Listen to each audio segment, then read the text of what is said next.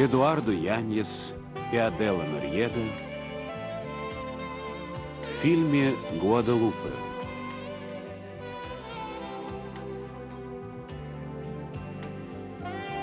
Оригинальная новелла Дели Фиало.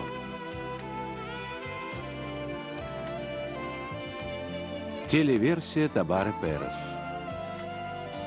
В фильме снимались Зули Монтеро, Мириам Очоа, Мара Кроато, Браулио Кастильо, Сальвадор Пинеда, Лаура Фабиан, Грисельда Ногейра, Маноло Вильяверде, Жан-Пьер Ноэр, Эктор Травагессо, Росса Филиппе, Мерилин Ромеро и другие.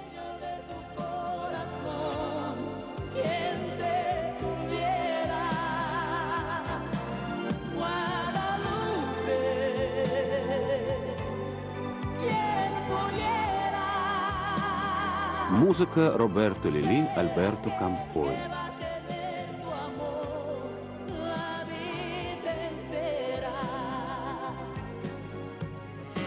Режиссер Грацио Данжелло. Продюсер Хосе Круселья. Гуаделупе. Умер? Мой брат умер? К несчастью, да. Врачи сделали все, что могли. Но в результате взрыва он получил серьезные ранения. И в конце концов, его сердце просто не выдержало.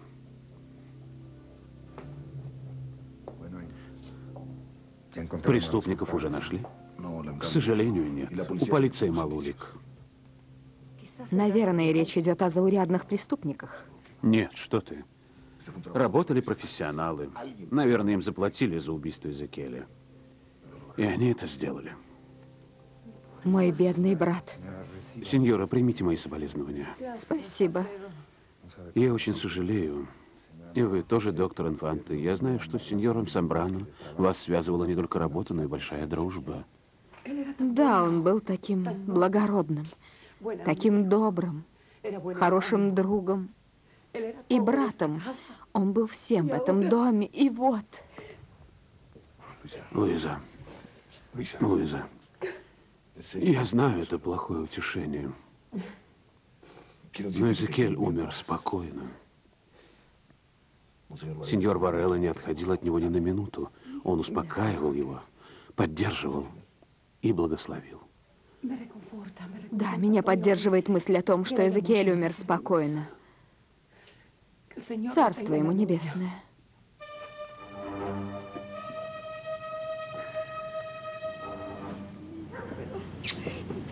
Сынок, как хорошо, что ты вернулся. Мама, ты чудесно выглядишь.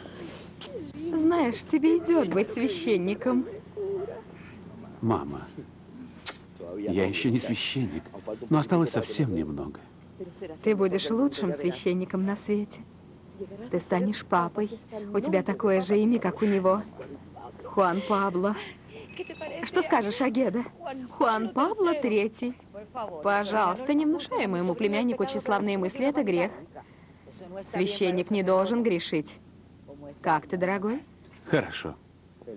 Хорошо, я очень рад. Рад, что приехал домой. Сестренка, да ты настоящая женщина. Как хорошо, что ты приехал. Как ты выросла, как похорошела. Идем, идемте в дом. Ты наверняка голоден. Ты плохо питаешься в семинарии. Смотри, как ты похудел. Священник обязан соблюдать пост. В этом доме Хуан Пабло не священник, он мой сын. И я буду кормить его всем, что он любит. Да, конечно. Идем в дом. Идемте в дом.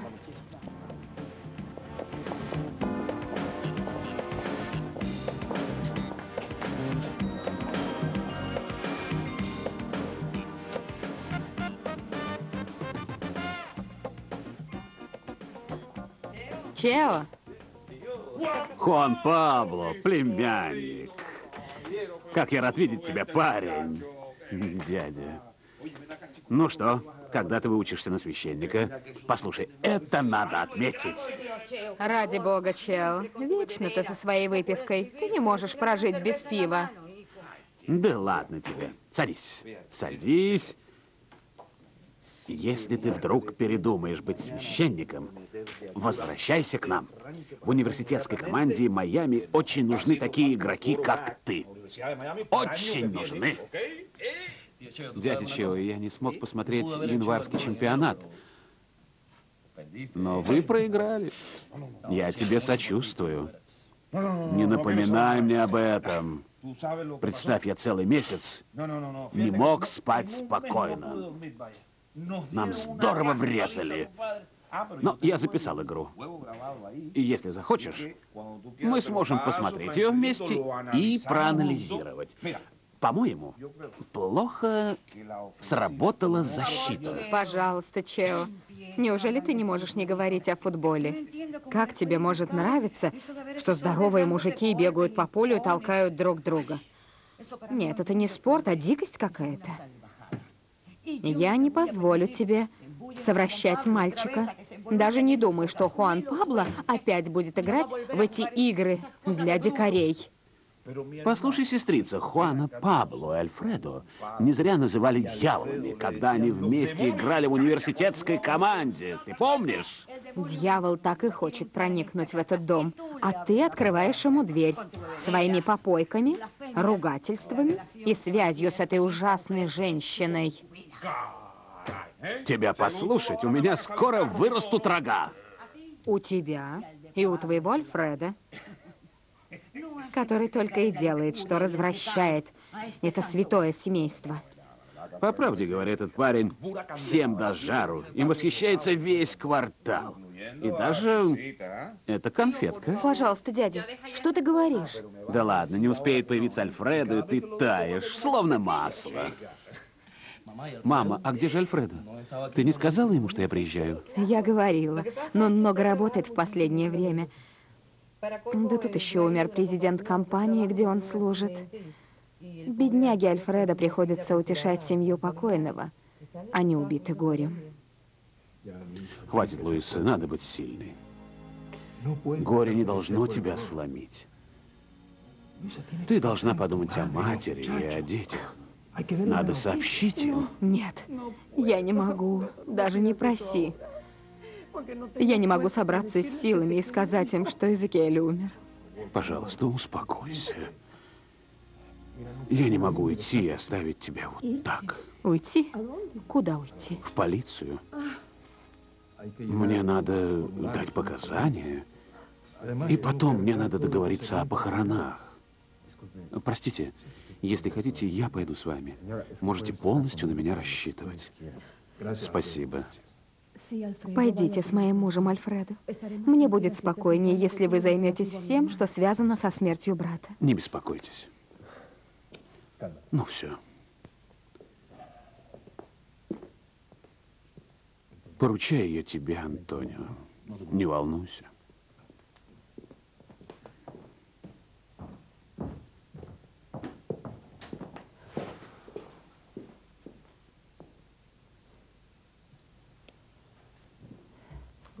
Теперь, когда Эзекиэль умер, я должна одна заниматься делами. К сожалению, мама больна. Не считая ее, я и мои дети единственные прямые наследники Эзекиэля. Ты заблуждаешься, Луиза. У Эзекиэля осталась дочь. Что? Внебрачная дочь. Что ты говоришь? Что за шутки? Сейчас не время для шуток. Ты сошел с ума. Я говорю правду. У Изакеля есть дочь. От служанки этого дома. Понятно. От Чоли. Да, от бедной Чоли. Когда она узнала, что беременна, она вернулась в Мексику.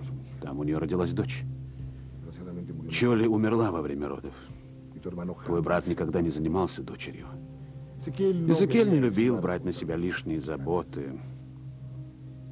Его интересовало богатство, личная карьера, власть, положение в обществе. Став миллионером, он женился на женщине своего круга. Но она умерла при странных обстоятельствах, утонула в бассейне. Потом он думал только об увеличении богатства и власти. Жизнь Эзекеля — это совещания, встречи, светские приемы, поездки. У него не было времени думать о девушке, в жилах которой текла его кровь. Он вспомнил о ней, будучи при смерти. Я тебе не верю. Я не стану верить в эти сказки. У Эзекиэля не могло быть дочери от индианки, это неправда. Он ничего не скрывал от меня. А это скрыл Луиза. Ты знал? Да, я знал. Дочь. У него была дочь. Должен тебе сообщить, что он поручил мне найти ее и привести в этот дом. Привести дочь Эзекиэля в этот дом? Ты что, Антонио? Я не желаю ее знать. Эзекиэль хотел, чтобы эта девушка жила в этом доме. С нами? Нет, Антонио, нет. Только не с нами. Как только тебе это пришло в голову. Это придумал не я, это воля твоего брата. Антонио, не вздумай появляться здесь с этой сеньоритой. Я не приму ее. Даже на порог не впущу. Так и запомни. Луиза, пойми, я обещал. Антонио, ты не обязан выполнять эту глупую просьбу. Эзекиэль плохо соображал, когда просил тебя об этом. Он не знал, что говорит. Нет, он знал, о чем просит. Если ты меня знаешь, то должна понимать, я не нарушу своего слова. Антонио, ты не можешь так со мной поступить. Мой брат умер, а я жива. Если ты найдешь девчонку, то создашь мне невыносимые условия. Не делай этого. Пусть все останется как было. Никто не узнает о ее существовании. Все будет только между нами. Пожалуйста. Очень сожалею. Но Эзекиэль доверял мне, и я не могу жить спокойно, не выполнив его просьбы. Антонио. Это последняя воля покойного, и мы должны ее уважать. Он сказал мне совершенно определенно, что его дочь должна жить под одной крышей со своими родственниками и занимать достойное ее положение. Речь идет не только о материальном положении. Девушка должна обрести поддержку и тепло семьи, которого она была лишена все это время. Но кто она такая? Одному Богу известно, какую жизнь она вела. А если это развращенная девица, без принципов и воспитания, как я представлю ее своим друзьям? Как она будет жить с моими детьми? Они учились в лучших колледжах. Их воспитывали в семье. У них есть принципы. Приличие, манеры. Тебе бы следовало пожалеть, что бедняжка была лишена всего этого. Если Эзекиэль никогда ею не занимался, почему я должна взвалить на себя эту обузу? И в такой момент невозможно, чтобы эта девица стала на один уровень с нами, Самбрано. Эта девица единственная дочь твоего брата. У нее больше прав, чем у других. Он назвал ее своей наследницей, да? Но отвечай же, Антонио. Как адвокат, я не могу ответить на твой вопрос. Скажи мне, как друг, Эзекиэль назначил ее? Есть завещание. Где оно? У меня. Я хочу посмотреть. Составление завещания так же приватно, как и тайна исповеди. Вы все узнаете, когда оно будет зачитано. Антонио, от меня у тебя не было секретов.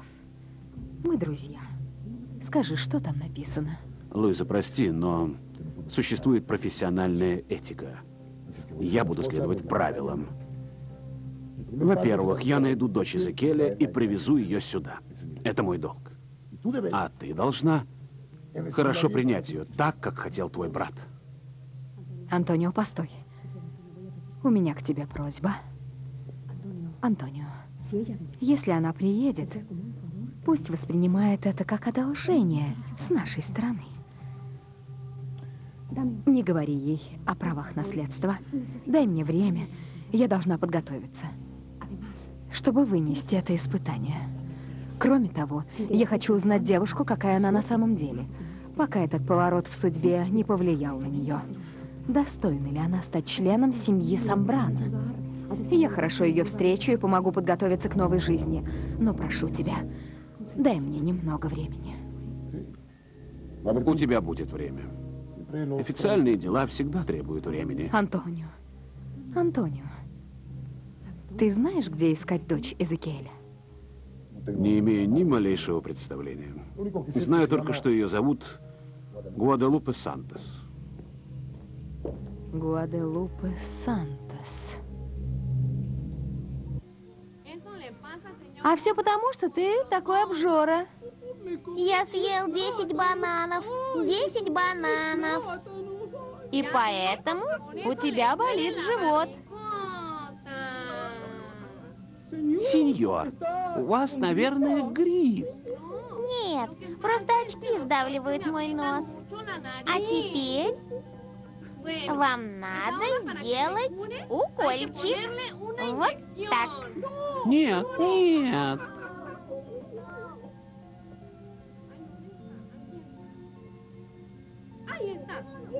Идите сюда. Идите же ко мне. Ну где же вы? Вы его не видели? Ну вот, друзья, теперь вы знаете, надо хорошо есть, но нельзя быть обжорами, иначе у вас разболятся животы. Надеюсь, вам понравилось представление?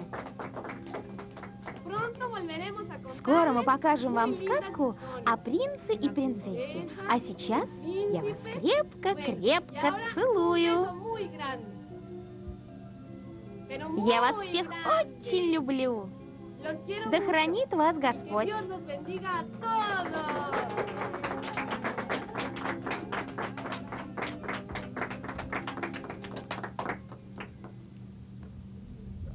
Я должен бежать на запись рекламы. Я все соберу. Беги. Хорошо, мы возьмем аппаратуру. До встречи. Пока.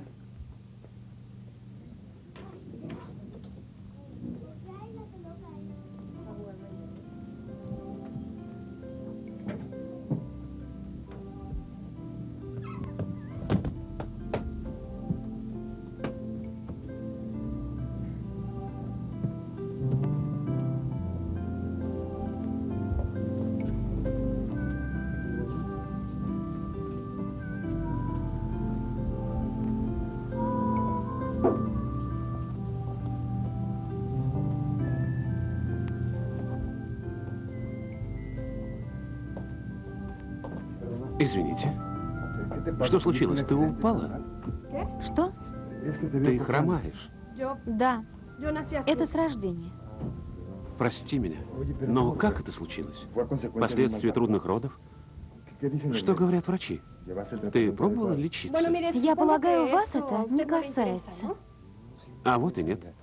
Я только что закончил... Оставьте меня в покое. CSR 6032, CSR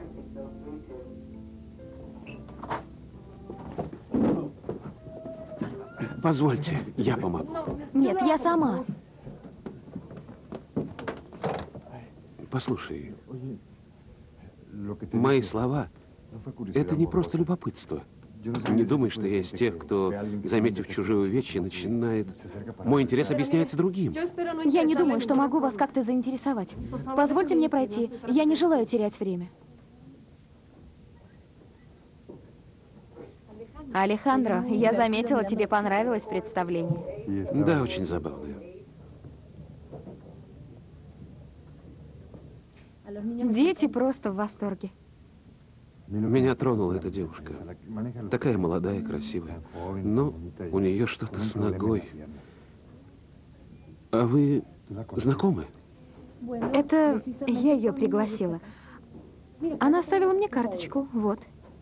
Ее зовут Гваделупе Сантос.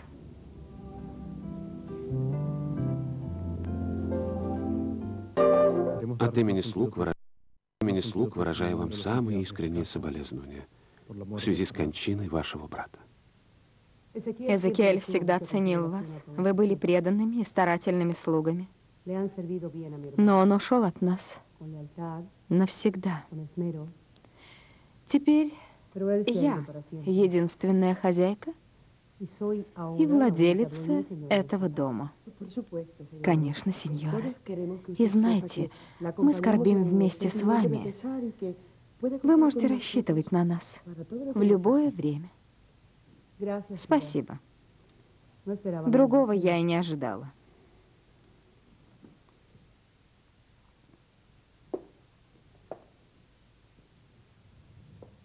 Сейчас вы должны все подготовить к похоронам. И еще. Наденьте черную форму и белые передники. По крайней мере, пока мы будем принимать соболезнования наших знакомых. Ясно? Я тоже должна быть в форме. Эдельмира, похоже, твоя дочь еще не уяснила своего положения в этом доме. Но сеньор Эзекиэль обещал... Сеньор Эзекиэль умер. Теперь только я могу что-то обещать. Да, сеньор.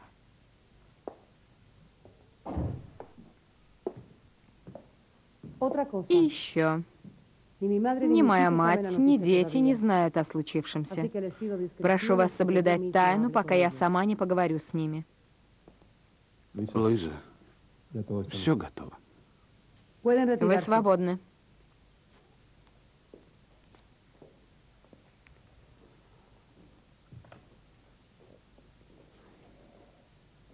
Что с полицией? У вас не было проблем? Никаких. Разговор взял на себя Альфредо. Он показал мне бумаги, которые я должен был подписать. Я всегда считал Альфреда компетентным человеком. Да. Он также помог мне нанять похоронное агентство. Все в порядке. Ты поговорила с детьми и со своей матерью? Нет. Я ждала тебя. Я боюсь за реакцию твоей матери. Бедняжка очень слаба. И все-таки мы должны сказать ей правду. Ты права. И чем быстрее, тем лучше. Жду тебя наверху.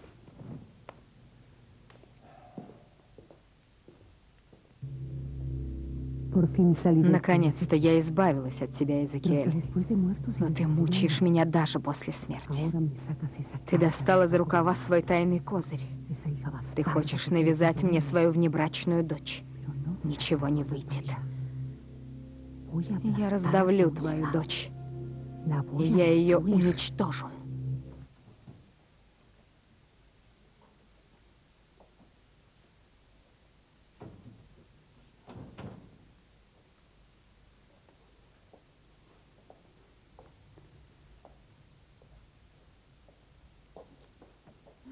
Лупе, как все прошло?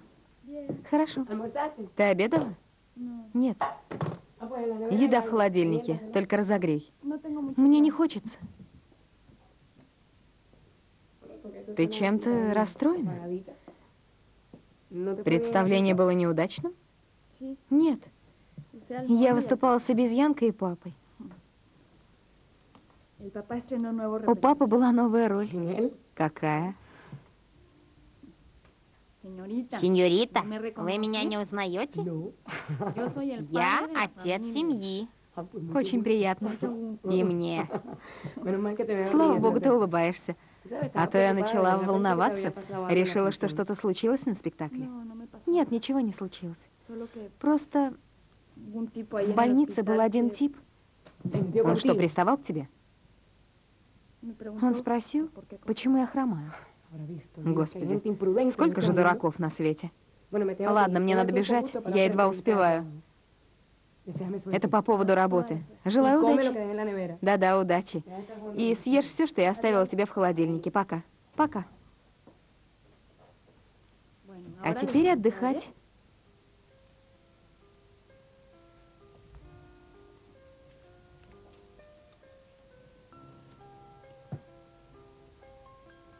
До завтра.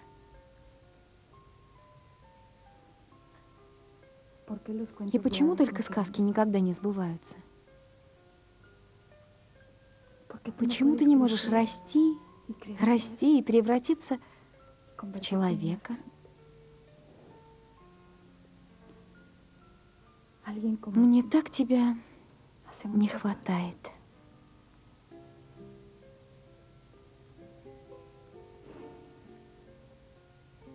Как бы я любила тебя, папа.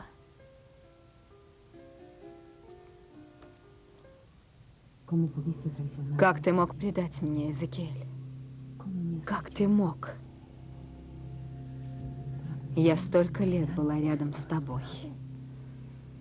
Направляла, подталкивала, помогала. Была твоей тенью. И в то же время твоим двигателем. И в жизни, и в работе. Благодаря мне ты достиг всего. Это я избавила тебя от семьи Мендоса, чтобы ты смог завладеть их состоянием. Прошли годы, и я избавила тебя от твоей глупой и избалованной жены. Овдовев, ты унаследовал ее состояние. Я делала за тебя всю грязную работу. Время состарило тебя. Сделала мягче, слабее. Я ждала от тебя хотя бы благодарности. Я не думала, что ты способен меня обмануть.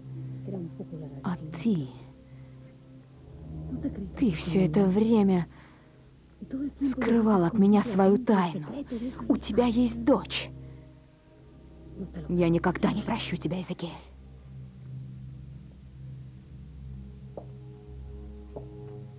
И пусть твоей душе не будет покоя.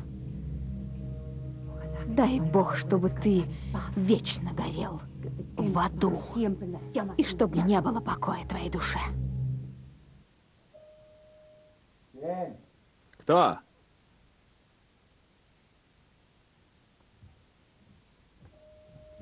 Сейчас, сейчас, иду. Я не кстати. Хуан Пабло. Хорошо, что ты пришел. Когда ты приехал? Сегодня. Входи, входи. Я не успел с тобой поздороваться. Ты же знаешь мою маму Марикусу и тетю Агедиту. Они не отпускали меня, а мама не знала, чем накормить. Скоро я не влезу даже в сутану. Я рад тебя видеть. Садись, садись. Расскажи о себе. Ну, как жизнь? Рассказывай. Честно говоря, мне трудно представить тебя священником. Да ладно, не преувеличивай. Это мое настоящее призвание. Какое-то время я сам сомневался, что хочу именно этого. Я не был уверен и очень боялся, что не буду достоин жизни, которую себе выбрал. Но постепенно убедился, что это мое призвание. Я родился, чтобы стать священником и посвятить себя служению Богу.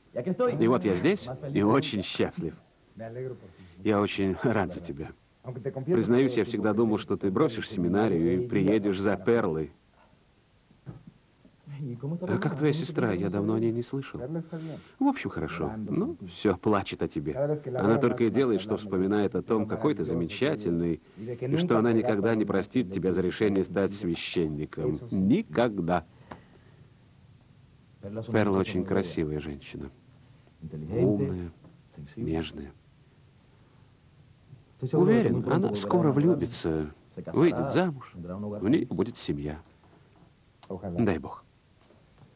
Я вижу, что она все больше замыкается в себе. Ее мать, тетя Оливия, почти не бывает у нее. А я, который всегда относился к ней как к родной сестре, почти не уделяю ей внимания. По-моему, Перла на меня обижается. И она права. Но в последнее время у меня столько проблем. Что за проблемы? Это по работе. Я служу в очень крупной организации, организация Самбрану. Она объединяет серию предприятий. Меня ждет большое будущее. Правда? Вот здорово. Да. Тем более сейчас, когда ее глава Эзекиэль Самбрану умер. Я как раз собирался на проводы покойного. Мне обязательно надо быть рядом с его сестрой, Луизой. Теперь она возглавит организацию. Бедная Луиза. Я никогда не думала, что смерть Эзекиэля будет для нее таким ударом. Ты готова? Я не хотел бы опоздать. Куда ты так спешишь? Антонио, ты должен смириться. Мне не нравится, что ты так расстроен и подавлен. С тех пор, как это случилось, ты почти не спишь. Мне не хочется спать. Я хочу только одного, чтобы эта трагедия оказалась сном, чтобы Эзекель был жив.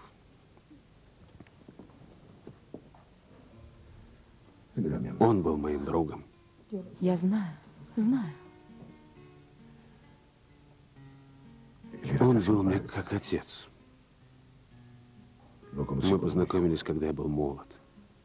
Неопытен. Но Эзекиэля это не останавливало.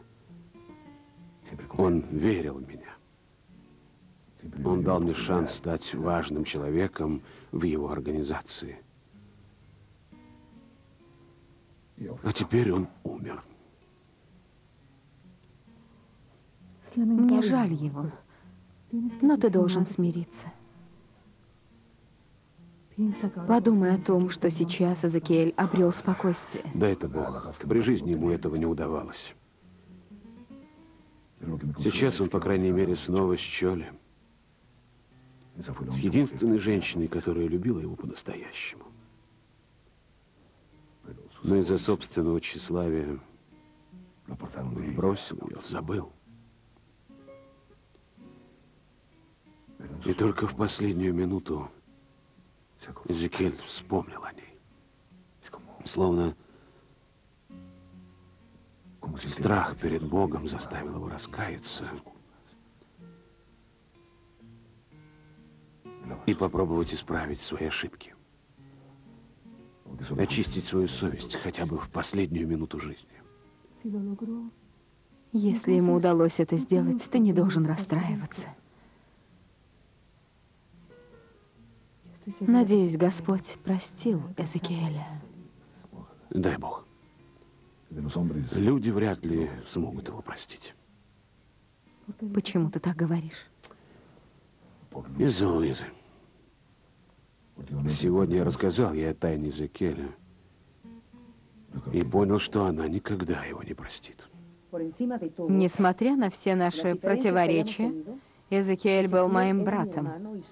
Только Богу известно, как тяжела для меня его смерть. Мой бедный сын. Бабушка. Хватит, Даниэла. Надо уметь сдерживаться. Мама может немного расслабиться, но ты... Я очень любила дядю. Не больше, чем я. Но посмотри на меня. Видишь? Я держусь.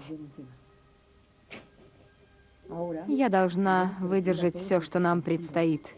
Придется принять всех наших друзей, знакомых, журналистов. Они накинутся на нас, испытывая удовольствие от возможности видеть нас в горе. Но мы их разочаруем. Мы выстоим. И не уроним достоинства семьи Самбрана. Нельзя стыдиться слез. Ведь это наш крестный. Я запрещаю вам плакать на людях. Вы знаете. Луиза, ты требуешь слишком многого. Каждый может выражать свое горе так, как ему хочется. Вы не такие, как все. Вы Самбрано. А Самбрано не слабаки. Они не плачут и не прячутся по углам. Самбрано — воины, победители, хозяева целой империи. Мы никогда не забываем о своем положении, даже перед лицом смерти.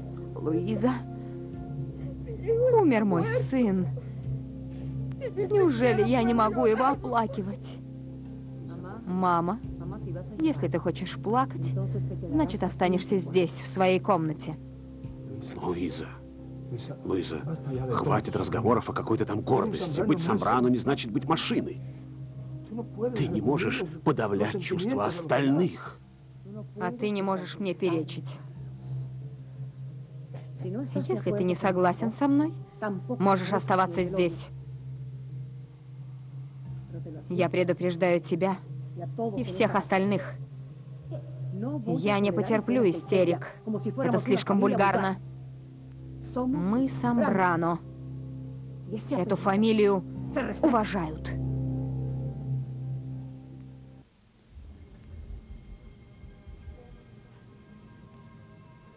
Я сожалею о смерти вашего брата. Спасибо. Такой тяжелый удар. Ужасное горе. Примите мои соболезнования. Спасибо. Мои искренние соболезнования. Спасибо.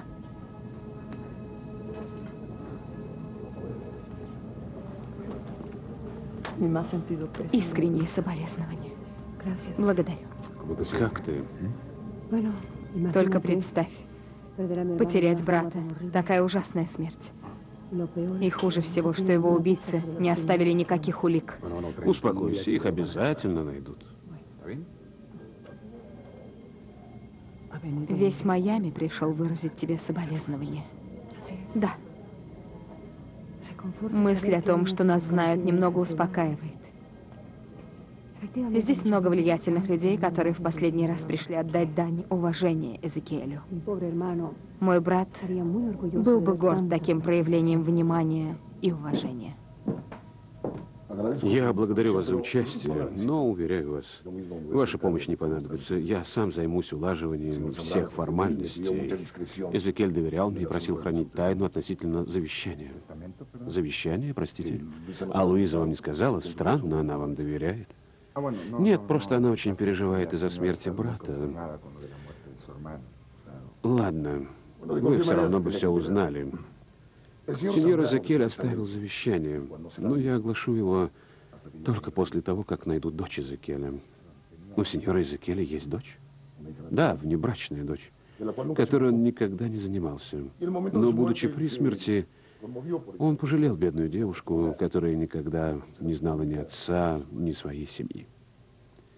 Значит, есть еще одна Самбрано. Да, и как дочь Эзекеля, она даже больше Самбрано, чем кто-либо другой. Ты читала, Лупе? Умер Эзекиэль Самбрано. Интересно. Что ты скажешь?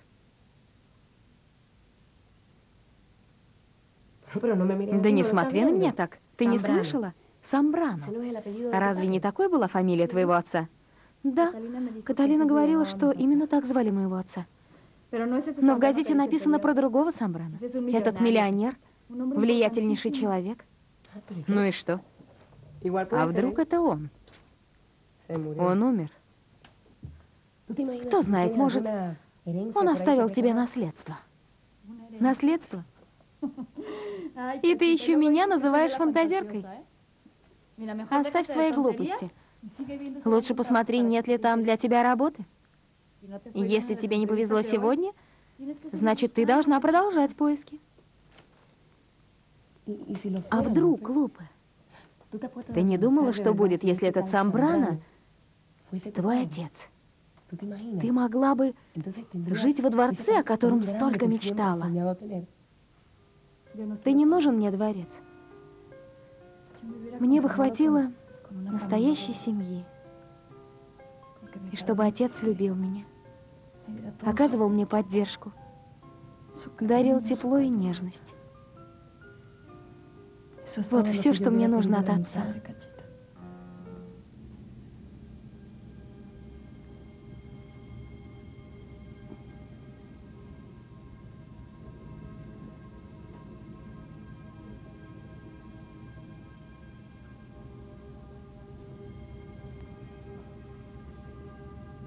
Вы звали меня, сеньора? Да. Твои друзья подвели меня. Эзекиэль должен был умереть прежде, чем в нем заговорит совесть. Тогда он не стал бы менять свою жизнь в последнюю минуту. Я вас не понимаю. Я хочу, чтобы они взяли на себя еще одно дельце. На этот раз все должно быть быстро и без ошибок. Поищи своих друзей и скажи, что нужно убрать еще одного человека. И кто этот человек? Гваделупе Сантос.